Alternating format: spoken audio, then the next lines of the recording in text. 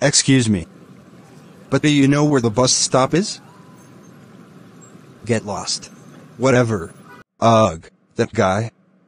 So mean. Really? What is the plan? At 9 o'clock, we will break into his house and rob it.